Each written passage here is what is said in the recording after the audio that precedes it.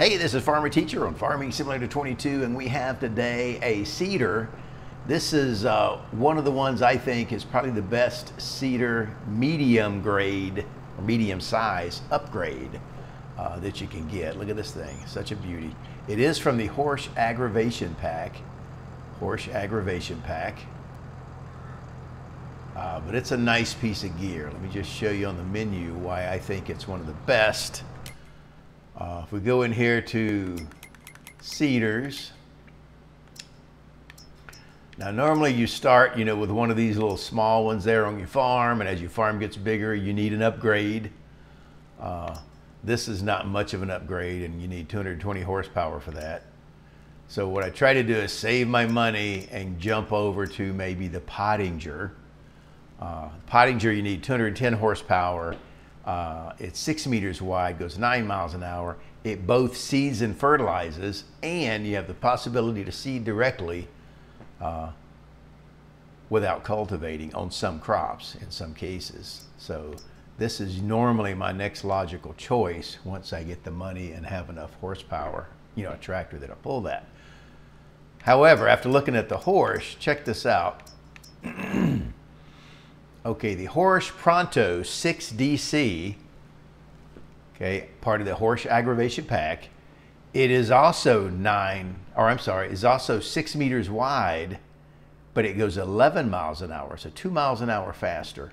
And you need only 200 horsepower to pull it, so 10 less. So you need 10 less horsepower, it goes two miles an hour faster. And you know from farming, if you can get two more miles an hour out of something like a seeder, uh, it's going to make your farming time go a lot faster. And it seeds and fertilizes just like the Pottinger. And you also have the possibility to seed directly uh, without previously cultivating on some crops. Now, if you go to buy this thing, uh, the caveat here, the caution, it says 106. However, your standard configuration doesn't come with the fertilizer. So what you got to do on your tank setup up top, scroll to the right until you see fertilizer and seeds. So you have two choices uh, that do both. You got this one for 113.5 and you get this one for 117. Okay, so those are your choices that do both seeding and fertilization. so we have the smaller one there right here.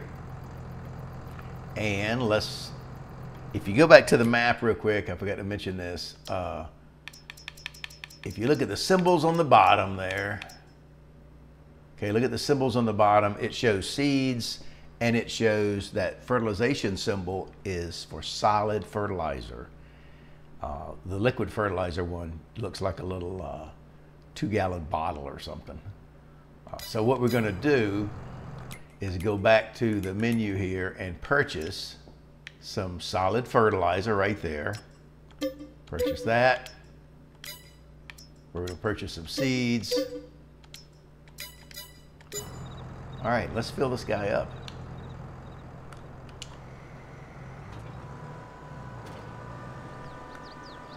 Open the cover.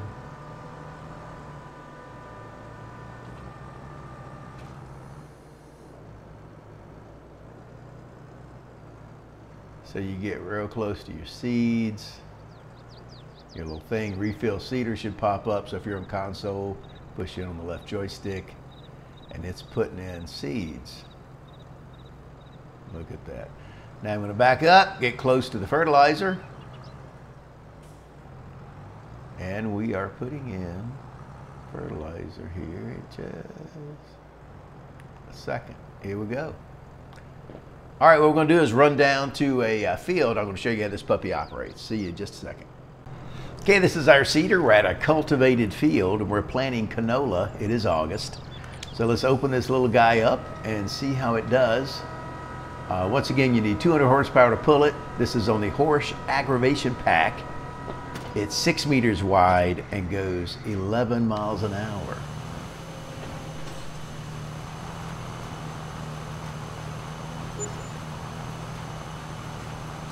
I'm a little bit to the right there. I'd rather be a little bit to the right than not far enough, I guess. All right, let's see how the swath looks on the six meter one coming up. Now it does say in the specs that it can cultivate uh, and seed, or you can seed directly at least without cultivating.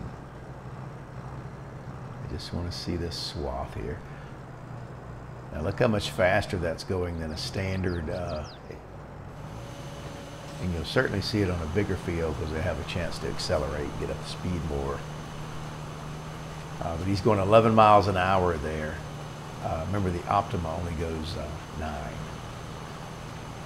All right, so now we're going to jump over. I want to show you a field that has not been cultivated. Okay, this field has been harvested but not cultivated. So if it's able to do it and you hit B on console to let the AI, you know, go do its thing, it will work. If it won't work,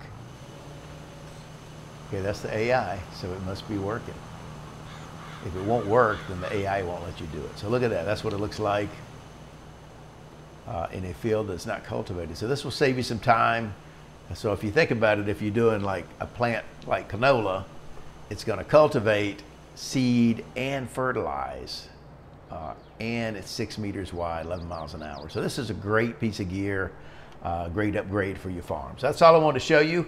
Uh, don't forget to share the channel if you like what you're seeing. Give us a thumbs up, leave us a comment and subscribe if you haven't subscribed already so you won't miss anything. So I'll see you next time. Bye bye.